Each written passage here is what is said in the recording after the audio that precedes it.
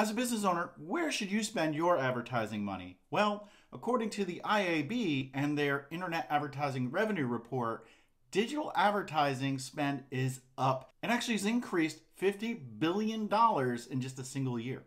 Think about that. What are the channels that you need to focus on? Believe it or not, podcasting and live video are still important. There's been a 50% growth since 2020.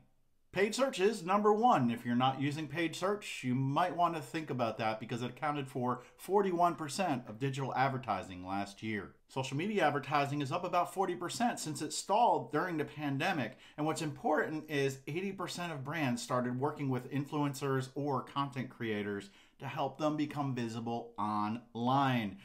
When it comes to digital marketing, make sure you're using the right channels and the right tools. You need to use paid advertising as well as create your own content on your blog, through a podcast, as well as live video. What will I see from you?